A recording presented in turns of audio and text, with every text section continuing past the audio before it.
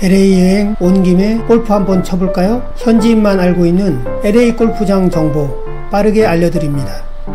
저는 LA에 살면서 골프장 산책을 즐기는 아마 싱글입니다.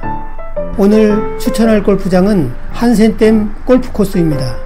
현지인들이 편하게 찾는 노케디 골프장입니다. 미국은 대부분 노케디 골프장입니다. 한국과 달리 그늘집도 거의 없다고 아시면 됩니다. 골프장 위치는 LA 공항에서 차로 34분 정도 걸리고 코리아타운에서는 차로 약 30분 정도 걸립니다. 골프장 근처에 야경을 즐길 수 있는 장소로 캐스트어웨이 레스토랑을 추천합니다. 레스토랑을 이용하면서 야경을 즐기셔도 되고 바쁘시면 살짝 야경만 보고 가셔도 좋답니다. 참고로 저는 이 레스토랑과 아무런 관련이 없습니다.